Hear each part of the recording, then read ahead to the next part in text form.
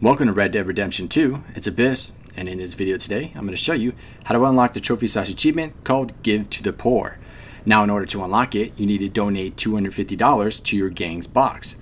Now this becomes available in chapter 2, and the thing about this is it's a missable in which you have to have this done by chapter 2, 3, or 4, because in chapter 5, this gang box will no longer be available that is the main reason why I'm doing this video is to let everybody know that this is a missable and after chapter 4 you will not be able to do this anymore.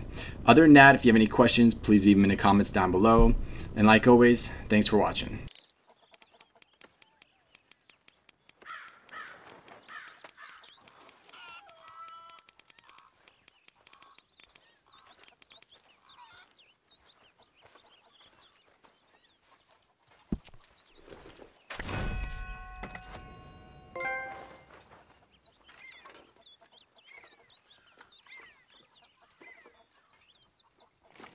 Tchau.